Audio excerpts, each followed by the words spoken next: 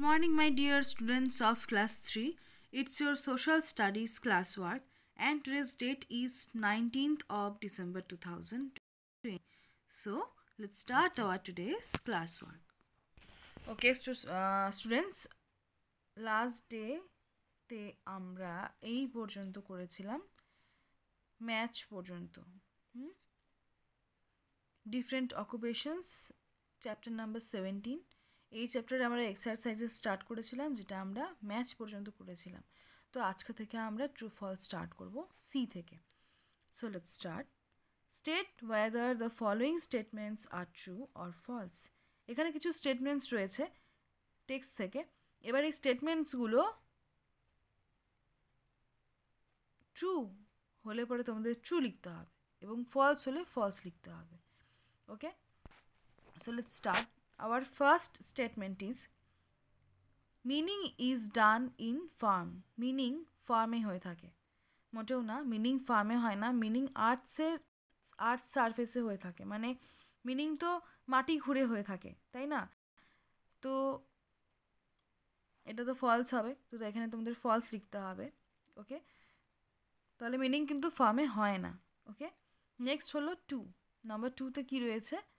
Cows goats and buffaloes gives us give us milk তো হ্যাঁ অবশ্যই কাউ গোট এবং বাফেলো আমাদেরকে দুধ দিয়ে থাকে। তো এখানে তোমাদের ট্রু লিখতে হবে okay next number three farmers do not require fertile soil to have healthy crops আমাদের যে কৃষক ভাইরা রয়েছে, তারা হেলদি ক্রপস মানে ভালো শস্য উৎপাদনের জন্য কখনোই উর্বর মাটি রিকোয়ার করে না। এটা ফল কি? কোনো ফসল ফলানোর জন্য ফার্মার্সরা সবসময় দেখবে যে মাটিটা উর্বর কিনা, সেই সয়েলটা ফার্টাইল কিনা। তো তারা রিকোয়ার করে, কিন্তু এখানে লেখা আছে ডু নট রিকোয়ার এখানে রিকোয়ার করে না, এটা লেখা আছে। তো তাই এটা কিন্তু ফলস হবে। ওকে ওকে তাহলে নাম্বার ওয়ানে ফলস হলো নাম্বার টুতে হয়ে গেল ট্রু আর থ্রিতে হয়ে গেল আবার false next four number four fishing is a major occupation in coastal areas yes of course fishing হলো কোস্টাল এরিয়াজে খুবই মেজর একটা occupation main occupation okay So write here true. Next, number five. Many farmers set up poultry farms to get a regular supply of eggs and meat. তো বলা হয়েছে যে বেশিরভাগ farmers যারা রয়েছে তারা কি করে? পোলট্রি ফার্ম সেট আপ করে নেয়। যাতে তারা একটা ডিম, এগ মানে মাংস এবং ডিমের রোজ একটা সাপ্লাই দিতে পারে রেগুলার সাপ্লাই তারা করতে পারে। তো সেজন্য কিন্তু তারা এগুলো একটা পোলট্রি ফার্ম তারা সেট আপ করে। নেক্সট দেখো, কিছু কোশ্চেন্স রয়েছে এখানে। Number D answer the questions in brief কিছু কোশ্চেন রয়েছে, এগুলোর অ্যান্সার দিতে হবে। তো ফার্স্ট কোশ্চেন যে রয়েছে, সেটা হলো what is the main occupation of the people living in villages মানে যে সমস্ত মানুষেরা ভিলেজে থাকে, গ্রামে থাকে, বসবাস করে, তাদের মেইন অকুপেশন কি? আমরা টেক্সটে পড়েছিলাম, আশা করি তোমরা বলতে পারবে।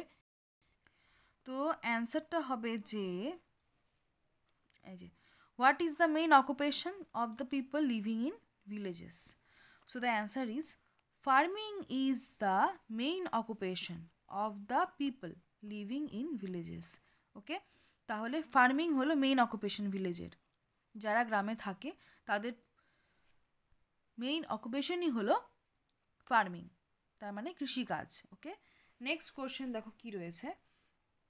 Name any three minerals with from mining যে কোনো তিনটে মিনারেলসের নাম বলতে বলা হয়েছে যেগুলো আমরা মিনিং থেকে পাই। মানে মিনিং যে অকুপেশনটা রয়েছে কার্য, ঠিক আছে, খনি থেকে যে উত্তোলন করা হচ্ছে, সেগুলো যে মিনারেলসগুলো পাওয়া রকম তিনটির নাম লিখতে বলছে, বলা হয়েছে।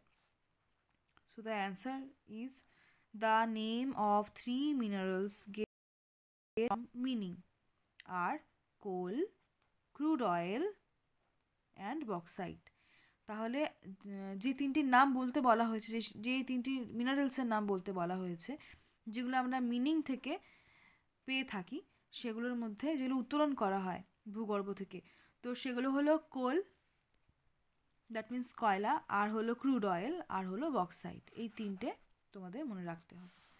Next question is number three name three states where fishing is the main occupation of the people বলা হয়েছে, তিনটে স্টেটের নাম বলতে বলা হয়েছে। যেখানে ফিশিং হলো মেইন অকুপেশন সেখানকার মানুষদের। So the answer will be that the name of three states where fishing is the main occupation of the people are Kochi from Kerala Chennai from Tamil Nadu Visakhapatnam from Andhra Pradesh ওকে তো আমরা শুধু কেরালা লিখতে পারতাম বাট কেরালার কোন জায়গাটা? কোচি তো বলা বলা হয়েছে যে যে তিনটি স্টেটের নাম বলতে বলা হয়েছে, যেখানে ফিশিং মেইন অকুপেশন সেগুলি হলো কেরালার কোচি তামিলনাড়ুর চেন্নাই বিশাখাপত্তনমের অন্ধ্রপ্রদেশ ঠিক আছে? তো এটাই হলো অ্যান্সার নেক্সট যে কোশ্চেনটি রয়েছে answer the questions in detail why do people need to work পিপলের মানে মানুষের কাজ করার দরকার কেন? মানুষ কাজ কেন করে? আমাদের কেন প্রয়োজন কাজ করা? তাহলে কী হবে অ্যান্সারটা answer is people work to make money they need money for food for rent and to have fun with their friends and family and fulfill their basic needs. When you work, you are learning new things, getting more skills. So people need to work. তো দেখো বলা হয়েছে যে মানুষ কাজ করে টাকা income করার জন্য টু মেক মানি টাকা জন্য বা টাকা ইনকাম করার জন্য তারা আয় করার জন্য তাহলে তারা কাজ করে। এবার টাকা কেন দরকার হয়? আমরা খাবার খাব, ঘর ভাড়া করে থাকব, বা নিজের ফ্যামিলি এবং ফ্রেন্ডসদের সঙ্গে সুখে শান্তিতে জীবন কাটাবো, এবং আমাদের কিছু বেসিক নিডস থাকে, যেমন খাওয়া, কাপড় পরা তারপর হলো একটা মাথার তলায়, মাথার উপরে একটা ছাদ, তো মানে ঘর বাড়ি তৈরি করা, তো এই সমস্ত সব কিছুর জন্যই কিন্তু টাকা পয়সার খুব দরকার। তো সেই জন্য আমাদের কাজ করতে হবে। এবার আমরা যখন কাজ করছি, শুধু এই টাকা পয়সার জন্যই না, এর আরেকটা ভালো দিক রয়েছে যে যখন আমরা কাজ করছি, তখন আমরা অনেক কিছু নতুন নতুন জিনিস শিখতে পারি। আমাদের স্কিলটা বাড়ে। সেই জন্য, আর আমরা অনেক ফ্রেন্ডসও তৈরি করতে পারি। আমাদের কমিউনিকেশন বাড়ে, আমাদের স্কিল বাড়ে। তো সেই জন্য কিন্তু আমাদের কাজ করা খুবই দরকার। ওকে তাহলে আজকে আমরা এই পর্যন্তই পড়ছি। নেক্সট দিন তোমাদের আর একটি কোশ্চেন বাকি থাকল। What do farmers require to have a healthy crops এটা করাবো দেন আমি, আমরা নতুন চ্যাপ্টার স্টার্ট করব। Okay so thank you our today's class work is over